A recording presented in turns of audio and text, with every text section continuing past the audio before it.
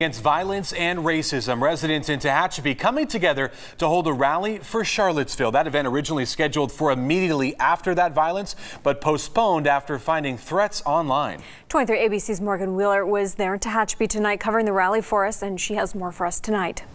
That's right. The demonstration that happened tonight was in regards to the three lives lost in the violent clashes in Charlottesville, Virginia.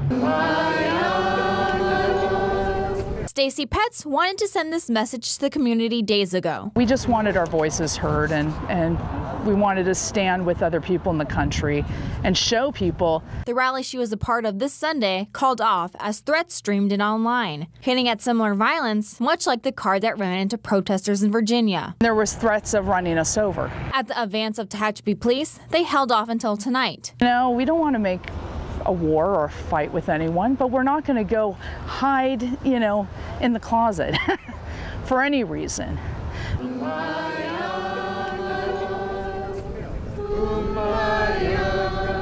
Seems like the voices or the shouting, the, the anger drowns out people who are, want to be peaceful. Coming together in effort to not let what happened in Charlottesville happen in their backyard. What happens when something happens to one of us here? And we and we didn't say when we had a chance that wasn't right. Petz wanted the community to know she peacefully stands with them. We stand, you know, in unity with our community. We don't want to see anyone hurt. Equality for all Americans. The rally ended up being a peaceful protest, and they were just happy their voices were heard. In Tehachapi, Morgan Wheeler, 23 ABC.